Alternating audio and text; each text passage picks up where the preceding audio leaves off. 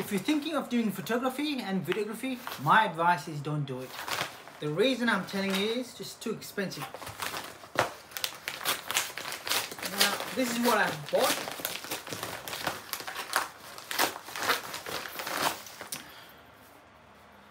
That's the brand and you keep buying things one after another.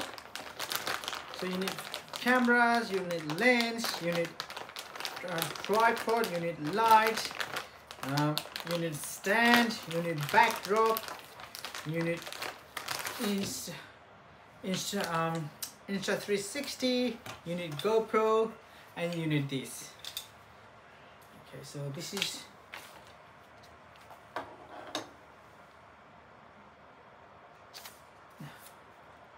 I bought this Stuntman 360 shoulder mount.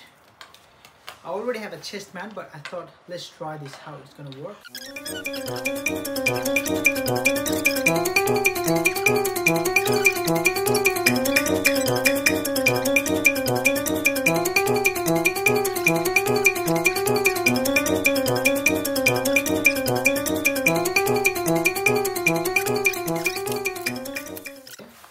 So you'll have the GoPro or 3 Insta360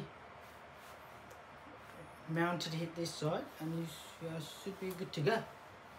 Let's look at this one as well. So I actually bought this one, the Insta360. Um, I don't want in a standing position, I want sideways in a landscape. So I actually bought this bracket.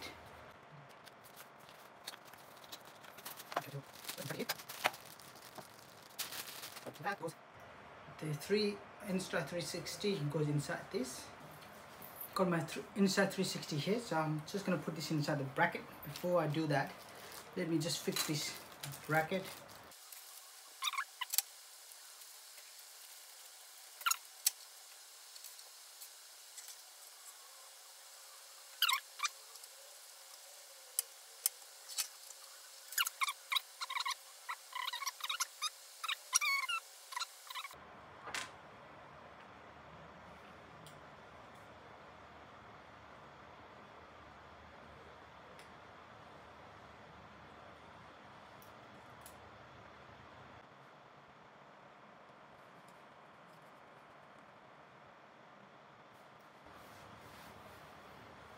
Okay, so now the next thing I need to do is put it here.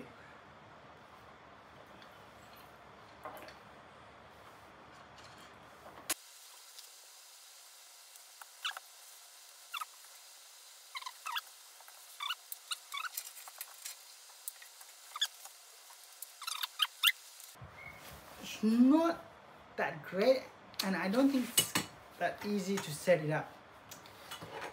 I think being a photographer and a videographer, you need something quick, like know, easy and quick. But this one, if it takes so much time to install it, or just to adjust, then that's gonna be a problem.